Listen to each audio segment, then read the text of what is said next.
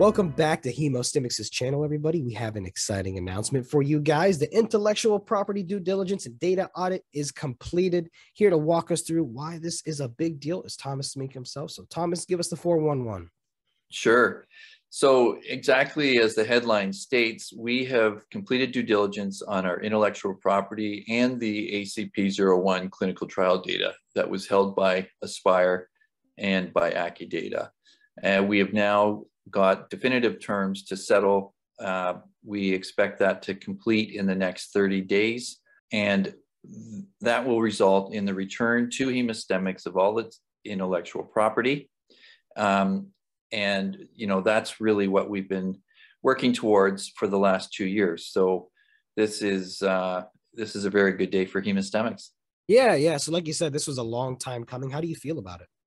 Well, it's awesome. I mean, this is, uh, you know, it's a settlement agreement that um, is, well, the terms of it are confidential and the, in large sort of global terms, um, you know, we, we will be settling for uh, cash, no stock. So uh, we will not be in business with our, par- our uh, former licensee, Aspire. And, um, and that's important uh, the company can then get on with making strategic moves that we um, that we have planned and that we are looking forward to execute on.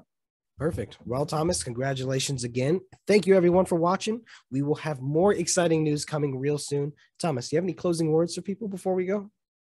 Well, again, you know, if you like the stem cell space, this is the right time to uh, to take a bite of the apple. Uh, join the management team join the board, uh, you know, who have more than four and a half million dollars invested in the uh, stock. And, uh, you know, they're doing that because we believe in the company and would welcome shareholders to, uh, or people who are sitting on the fence to join us as shareholders.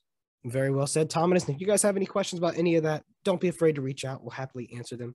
But for now, stay tuned for another update coming soon. And Thomas, thank you for your time and have a wonderful day. Likewise, Michael. Good to see you.